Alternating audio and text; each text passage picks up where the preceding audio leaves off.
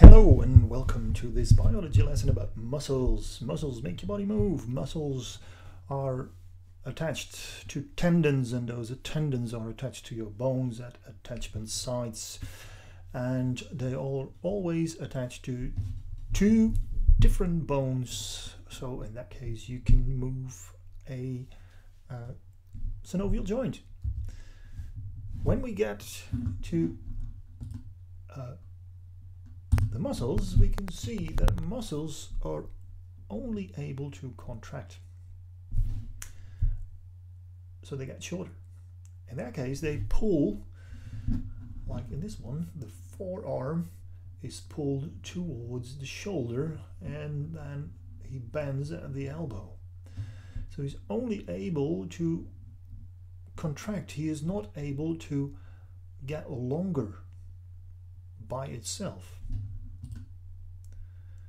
So how do we do that? How do you get this muscle to get long again? Well, muscles always come in pairs. We call those antagonistic muscle muscle pairs. They they have the same so they have the opposite effect, not the same effect, the opposite effect. For example, in this one, um, if this one, this muscle contracts, this and this one relaxes, then this joint will move that way. But the other way around as, as well, if this one, if this muscle relaxes and this one contracts, then he will straighten out again. So, antagonistic muscle pairs. For example, your biceps and your triceps in your upper arm. Biceps and triceps. So, antagonistic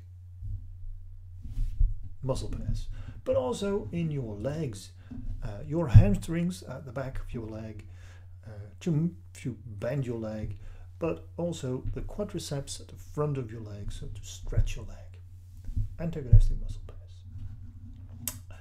There are also involuntary, involuntary muscles. Involuntary muscles are muscles that you cannot control and for example, your heart. You don't have to think that your heart has to pump your blood around your body. It will do it automatically. And also, muscles in your organs, they know when to contract. You don't have to control that. Like breathing. You can hold your breath for a while, but after a while, um, you will automatically breathe again. Involuntary muscles cannot control themselves. You, you cannot control them uh, voluntary muscles, you can control them. Antagonistic muscle pairs, muscles can only contract. That's it for today. That's all, folks. See you some other time. Bye for now.